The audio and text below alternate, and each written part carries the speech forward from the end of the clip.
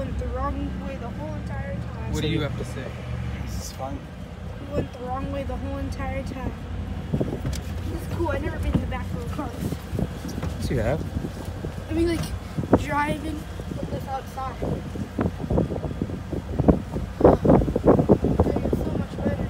It does Come on. feel You don't have to walk that all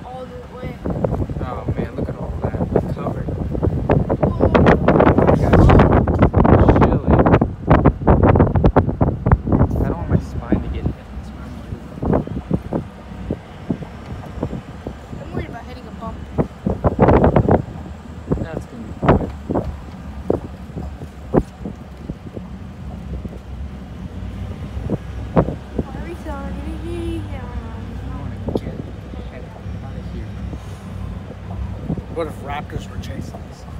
And then we would throw stuff at it. Like that lemon.